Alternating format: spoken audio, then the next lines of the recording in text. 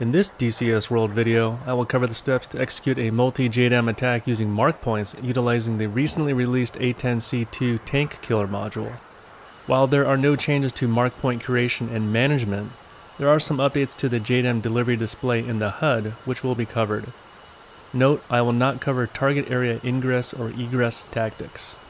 To start out, let's turn on the autopilot. This will reduce your workload and keep your hands free while we set up the JDAM attack. Select the targeting pod switch to on to power up the targeting pod. Laser to arm, master switch to arm.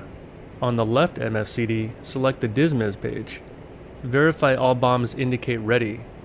With the HUD as sensor of interest, press the master mode button to select CCRP.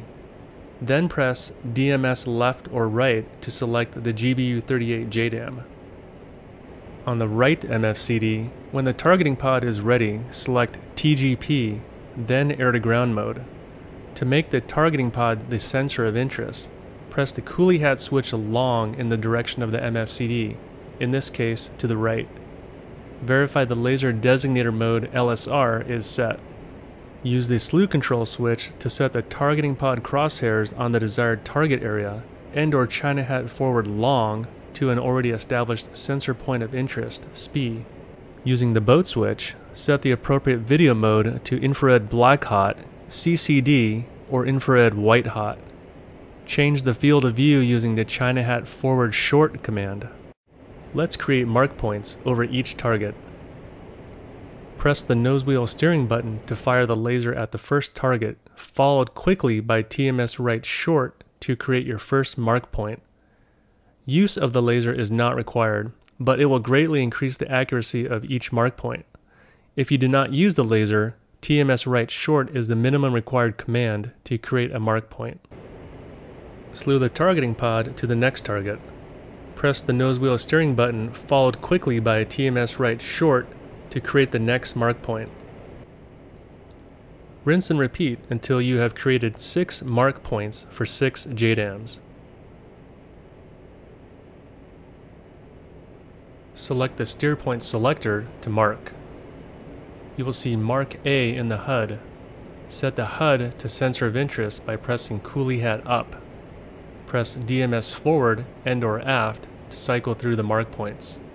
You should see six mark points, A through F. Cycle back to Mark A, your first target.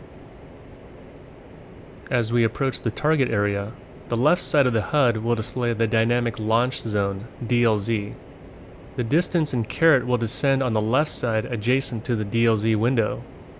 The letter R, followed by the time in minutes and seconds, displays the time until reaching the maximum limit on the upper portion of the DLZ window.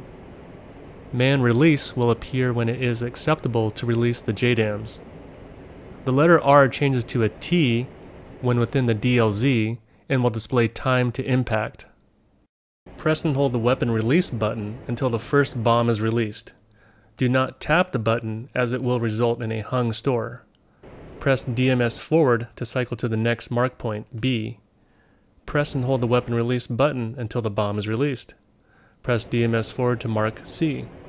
Press and hold the weapon release button until the bomb is released.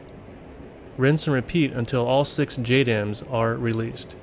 Adjust your targeting pod as needed to watch the target area.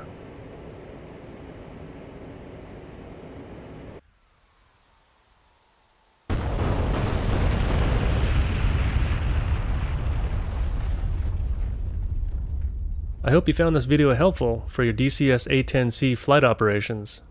Thanks for watching.